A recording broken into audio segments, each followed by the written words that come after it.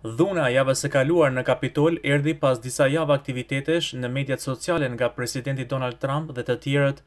Facebook ishte një nga pikat ku zhvillohej ky aktivitet.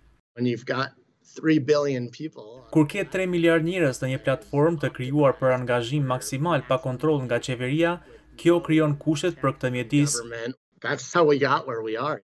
Gjigantët e mediave sociale si Facebook, Twitter dhe Snap u përgjigjën duke pezulluar ose ndaluar plotësisht llogaritë e Presidentit Trump dhe disa mbështetësve të tij. Ekziston një përpjekje për të hequr përmbajtje me frazën Ndalo vjedhjen, një thirrje që i bashkon të gjithë ata që thonë se Presidenti Trump fitoi me të vërtetë zgjedhjet presidenciale të tre nëntorit. Kompania Amazon hoqi nga serverat e saj faqen e internetit Parler, një platformë alternative ndaj Twitter-it për konservatorët, ndërsa Google dhe Apple e hoqën atë nga lista e aplikacioneve që mund të shkarkohen në shërbimet e tyre. Ata që humbën qasjen në këto platforma thonë se kjo nuk është e drejtë. Të tjerët thonë se ky veprim ishte i vonuar. Janë shtuar thirrjet për ligje të reja mbi lirinë e shprehjes në internet dhe për të zvogëluar fuqinë që kanë kompanitë teknologjike. Ekspertët thonë se duhet të shtohet vëmendja ndaj këtyre çështjeve. Kjo është faza në të cilën jemi tani dhe mund të jetë tepër e rrezikshme nëse nuk i shqyrtojmë me seriozitet këto zhvillime.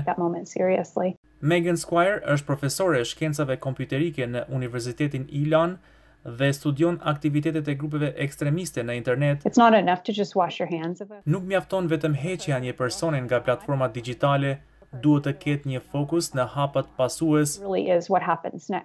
Ajo që do të ndodhë më pas është e parashikueshme, thotë zonja Squire. Lëvizja në platformat si Telegram u rrit pas veprimeve të firmave të mëdha digjitale, a couple of the channels that I Disa platforma që i ndoqa po rriteshin me një nivel 100 dhe 200 përqind. 200 percent. Për gjigantët e internetit si Facebook, YouTube, Google dhe Twitter, ky duhet të jetë moment reflektimi mbi përgjegjësinë e tyre, thotë bashkëthemeluesi i organizatës jofitimprurëse Teknologjia e Përgjegjshme, Jesse Lehrich. Their tools have been Në shumë mënyra platformat e tyre kanë qenë mjete rekrutuese për këto lëvizje ekstremiste, kështu që nuk është e mjaftueshme për të marrë masa vetëm ndaj një numri postimesh, ata duhet të trajtojnë çështjen se si kanë arritur të jenë një forcë shtytëse në të gjitha këto zhvillime.